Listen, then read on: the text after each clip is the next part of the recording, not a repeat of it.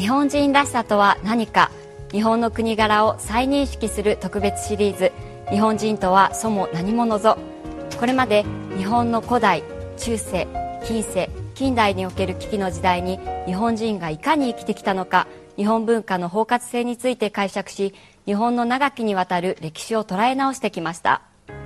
この特別シリーズの中心となって論じてくださっているのは帝京大学の非常勤講師や評伝作家として執筆している沢村修司先生と文芸批評家として活躍し日本大学で教鞭をとっている浜崎洋介先生です。第5クールは日本の戦後について論じていただきます。安全と生存に一番の価値を置いた平和主義大量現象に飲み込まれた大衆の気分により右往左往する民主主義アメリカ流のグローバリズムによる近代主義がもたらしたものとは何か。世界中でグローバリズムに対する会議が広がり各国各用のナショナリズムが台頭する中で我が国では戦後レジームからの脱却が主張されながら72年に及んでアメリカに追従し日本の自立と自尊を議論することすら忘れてしまったようです。今後の日本は国家としていかにあるべきか。戦後の日本と日本人論をめぐり早速こと上げしていただきます。よろしくお願いいたします。よろしくお願いいたします今日は17回目ですね。よくぞやりましたね。はるばる来たぜって戦後まで。僕実は敗戦の年に小学1年なんはい、だから4月から8月まで8月は夏休みですけどね、はい、北海道ですから7月から夏休み。ほんのね3か月ぐらいは国民尋常小学校。ところ秋からはねいわゆる、うん、なんとか小学普通の小学校、はい、だから敗戦の年早生まれだから6歳ですけどこれからの4回分はみんなも僕の時代ですよ。俺も発言するの嫌になって、あなたにとっては遠い遠い過去。遠い遠い過去。ですよね、ただやっぱりこう伝っていくと親とで祖父とっていう形で、うん、実際に接してた人たちがやっぱ戦争を経験し、戦後を生きてると、うん、でそういう感覚が残ってるのが、まあまあ、ギリギリと言ったら変なのかもしれませんけど僕ぐらいの世代かもしれませんよね。そういえばそうですね。僕だってやっぱり大正明治についてはかすかな感覚があるのはやっぱり老人たちのね、立ち居振る舞い雰囲気を通じて何か伝わってますからね。えー、ね。時代のことを英語で何ていうか今村さん知ってる？知らないだろう。ジェネレーション違います。まあいいんだけど、ね、はい、それ関係あるんだけど、はい、エイジっていうんですよね、はい、ところが、ね、ある時代というと不思議なもんで浜崎さんおっしゃったようにね、80のやつもいれば604020とさ、はい、ある時代はあるでしょ？いろんなジェネレーション、はい、エイジは年齢っていう意味でありますからね、はい、いろんなエイジのことなんてね、それがこう関係を持って一つのエイジ時代を成してる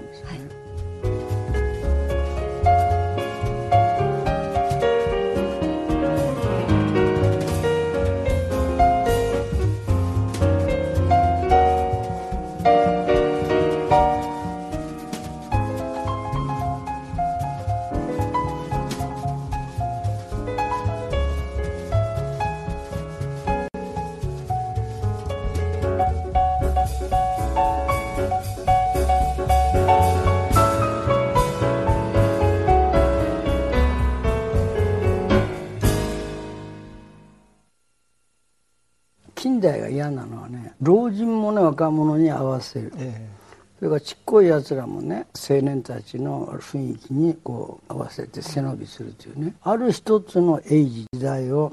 いろんなジェネレーションのつながりとして論じずにね特定のジェネレーション、うん、主として若者ですけどね、うん、若者文化その特定のエイジが全部を代表しちゃうってことは多いですよね、うん、特定のエイジが代表するというのは先生のお話なんですけど戦後というのももうあの2017年ですから72年経っている、うん、で先生がちょうど私の親の世代でで浜崎さん子供の世代なんですけど浜崎さんにあのお子様がいらっしゃってもう4世代回転してるんですね、ね、もうかなり過去になっている。でその時にそのいろんな当時の若者の文化っていうのは喧伝されている。でこの4世代も経つとそもそも敗戦とは何ぞや完全に過去になったわけですけどそこから全てが始まってるわけですから戦後っていうのは。どうだったのかっていうのを見ていかなきゃいけないと思うんですけど私あの戦後間もない頃日本人がどうなったのかっていうのはまあ大学でも講示させていただいてるんですが割と印象としてはですねこれはまあ日本人論のゼミナールですから戦後の価値観の転換を比較的素直にねスムーズに日本人は受け入れたんじゃないかなというような感じがあります、あれだけ大きなですねまさに総力戦を戦って、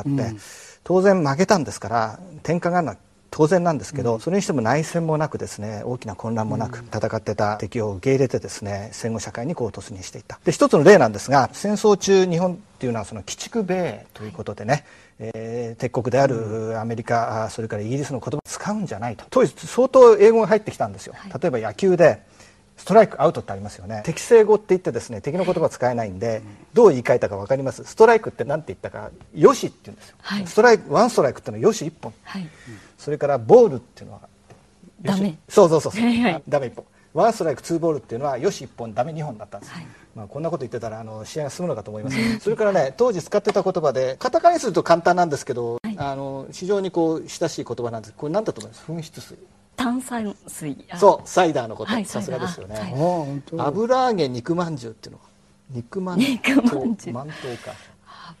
簡単なこと。誰もが好きな子供が好きな料理です。コロッケ。そうそうそうそう、はい、そうですね。あの肉まんじゅう、はい、これは辛み入り汁かけ飯。カレーですそうですね。カレーライスなんです 辛み。じゃあカツカレーはなんて意地悪な質問しますから、はい、このようにですね敵の言葉さえ使わないというふうにあのやってた日本人がですよ戦争に負けてその年のですよ敗戦の年ですからねあの1945年の9月です。ある一冊の本が出てそれが大ベストセラーになったんですよ。これは日米会話手帳です。あのご存知かもしれません。1945年の9月15日に発売。年末までに360万部の大ヒットとなってこの数字はですね、えー、私ベストセラー賞を講じてますから1981年の「窓際のトットちゃん」って黒柳徹子さんのね、まあ、これあの今でも1位なんですけどこれまで破られなかったんですよ、うん、これをやってた日本人がですよ一夜にしてえー、戦争に負けて翌月に今度は英会話の本を大ベストセラーにしてしまうと、これはあの日本人のある側面であり、まあ、いい悪いの論議っていうのは簡単にはできないと思いますけど非常にこう大きく変化の中で割とスムーズに受け入れたそこから始まったんだと戦後は、そこは確認しておいた方がいいと思います。もう一つはですね戦争中は鬼畜米英だったんですがマッカーサーが入ってきた時で国民のこう津々浦々インテリからも大衆までもうマッカーサーに対する、まあ、熱烈なある種のラブレターを送ったんですよ。でそれが本にもなってます。文庫にもなってます、中古文庫になって今岩波文庫かな、えー、背景マッカーサー元帥様と、でこの中にはマッカーサーのことをですよ。これまで戦っていた敵国のトップですよ。世界の主とか偉大なる解放者と書いて一般的には書いてます。マッカーサーを賛美してその後日常の細々としたこう悩みみたいなのも書いてるんですよ。こう新しい時代を比較的素直にスムースに受け入れたんだ。そこから戦後が始まったんだっていうのは私は確認しておいた方がいいかなと思いますね。女性差別なんか1ミリもないんですけどその証拠に妹4人おりましたからね、はい、女性差別したらどんなひでえ目に遭うかってことは身にしみて感じてます。ところがね、はい、今の日比谷にあるね第一生命館、はい、そこが GHQ ん？占領軍総司令部の本拠地でそこにお手紙が2万5千か3万忘れましたけど今言ったお手紙が届いてね。その全部とは言いませんけど、まあ、どちらが多いかというと女性からのお手紙ね。どういうのが多いかというとマッカーサー様、はい、あなたが好きです。結婚してください。この2人もそれぞれ経験あると思うんだけど。だから別にそれ占領期に限らないんですけどね。言い出してきりがないけど女性はねどうも旧石器時代以来、はい、あるパワーを持ってるものに近づいた方がねもう生物学的に言えばだけど子供を産みやすいし、子供を守りやすいって本能ねこの前頭葉と関係ない後頭葉かなんかの 本能がありますんでね。そしたらアメリカ軍がパワーになる。女性たちがそれに近づく。という傾きがね僕それね子供の時から目の当たりにしてるんで戦後すぐねいわゆる左翼たちがねいろんな意味であの頃パンパンって言ってたんですけどね。米軍相手の娼婦のことをねどうしてパンパンっていうかとフィリピンにねパンパン村っていうのがあって、はい、フィリピンはアメリカの植民地でしたからね。でそこがアメリカ軍の、まあ、いわゆる従軍慰安婦のね村の名前で、はい、それが日本に持ち込まれてパンパン。それを発見したのは僕ぐらいですけどね、それがね生活苦で親子供を養うためにそうなった人もほら結構の割合でいるんでしょうけど僕子供心にどことなしにねやっぱり新たな権力にすり寄る女たちの姿というものがね全部じゃないけどそういう札幌行けばゴロゴロいましたからね、何かその気配を感じるんです。そういうことは一切表に出されませんけどね。だから僕はそろそろそういうことも論じていいんじゃないかなぐらいに思ってる、うん。厄介なもんですよ。戦争に勝つ負けるっていうのはね、そうですね。世界混沌の中で今後の日本はいかにあるべきか価値ある物事の考え方を世に広める表現者。流行に流されず自らの意見見解思想その根本を表現者。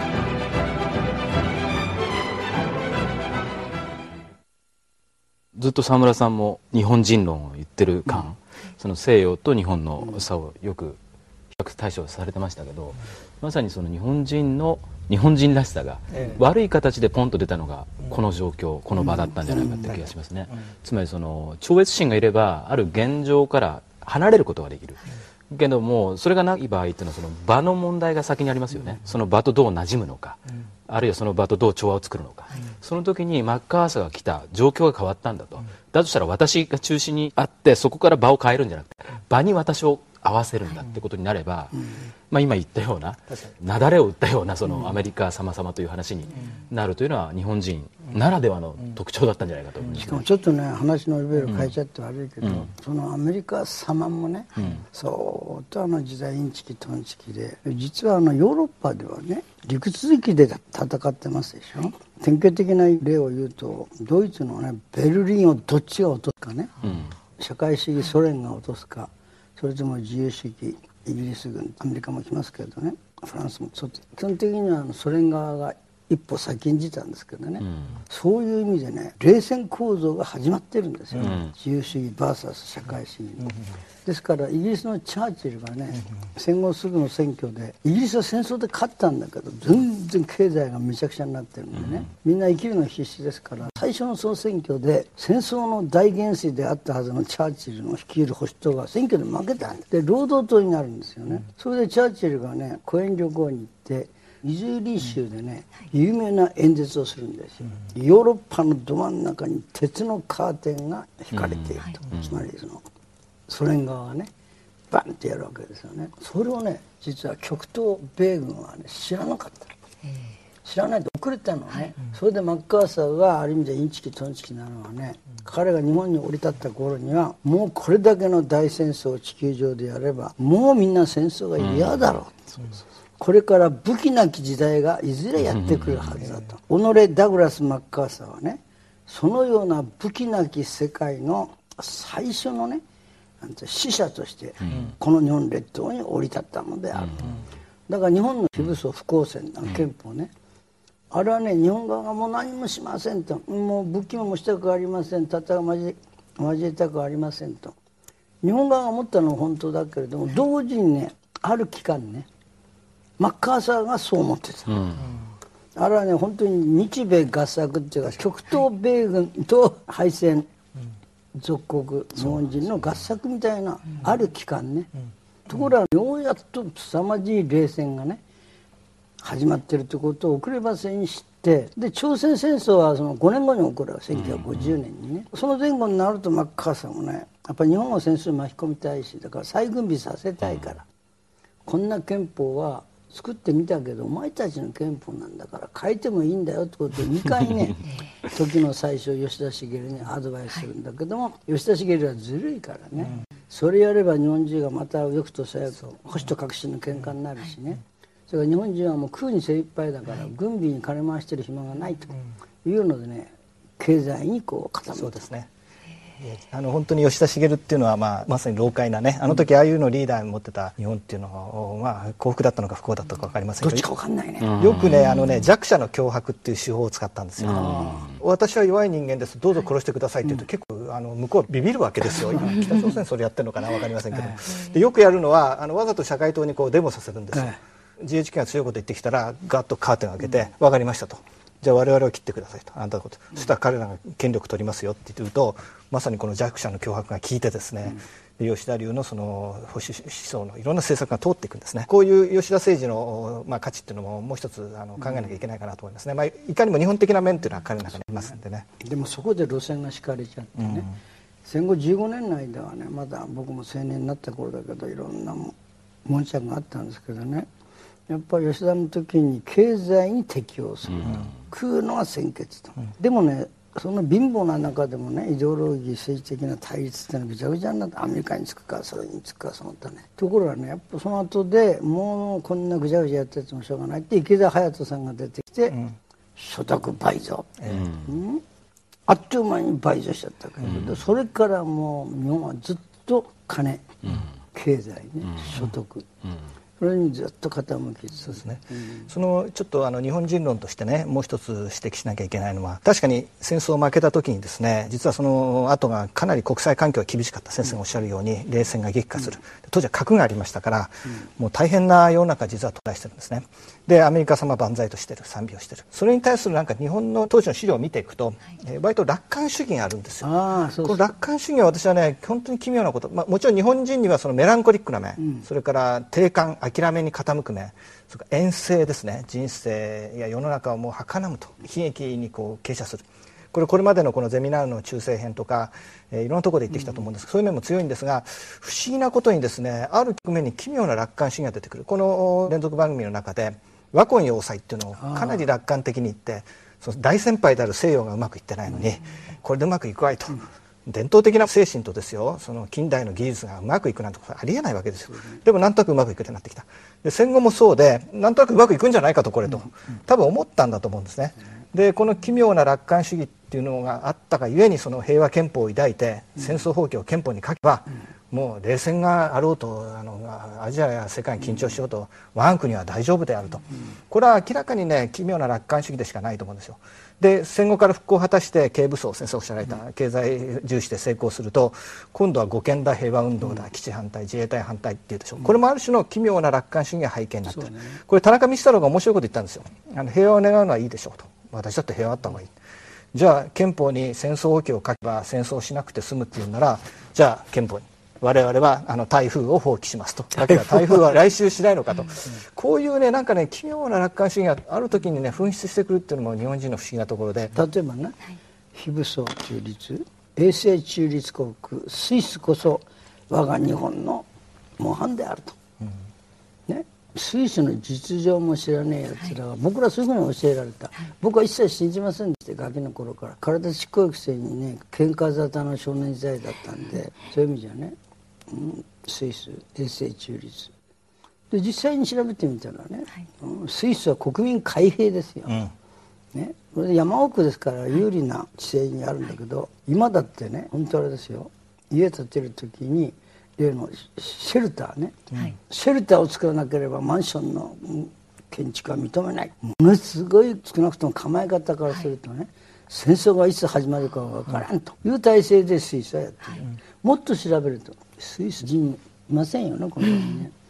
スイスなんていうのはねもう何百年も前から傭兵ね、うん、つまり食えないでしょ山国ですから、はい、今は観光で食ってるでしょうがね。もうじゃこっちのねえフランス軍に行って金稼いだり向こうのイタリア軍がちょっと激は高いとさっと移ったりね、もうスイス人はもう傭兵で食ってたような国なわけさ、うん。非武装なんだよな。冗談話みたいなもうこれはもうね常識であって普通に考えれば分かるんで今先生おっしゃったように平和のためには力の行使も場合によってはいとわないと。その前提で初めて平和ができるそれはもう自分のファミリーとか自分の所属してるものを見れば分かりますよね、単に平和がいいですって言ったら平和なのなんてことはありえないのに、どうして日本人はその時ああいうようなスタンスを取ったのかっていうのはね、まあ、そこから戦後の日本人論っていうのを始めていいかなっていう感じがしますね。でもこうね実はあの第二次世界大戦中のアメリカもね先ほどインチキトンチキって言ったけどほとんど能天気なあれでね、まあ、ルーズベルトは戦争のファール直前に死んでトゥルーマンになってから原爆を落とすんですけどねトゥルーマンもちょっと自分の名声を上げたいんでねせっかくできた原爆を落としたいっていうのを落としてまあそれはいいんですけどね。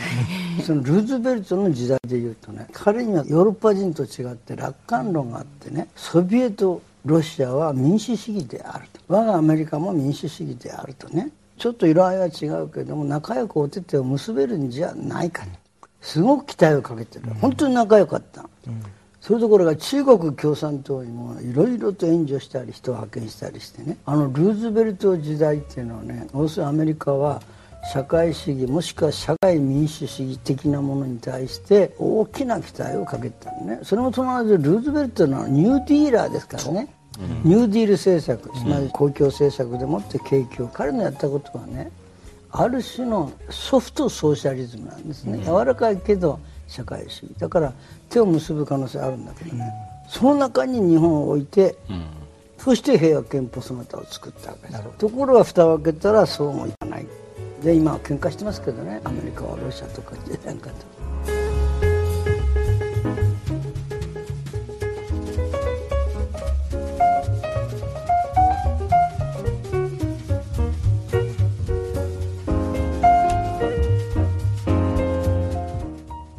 そういうことを踏まえた上でね戦後の日本を見ないといけない、うん、もうあれどこが悪いんですかね。朝日新聞 NHK 東京大学。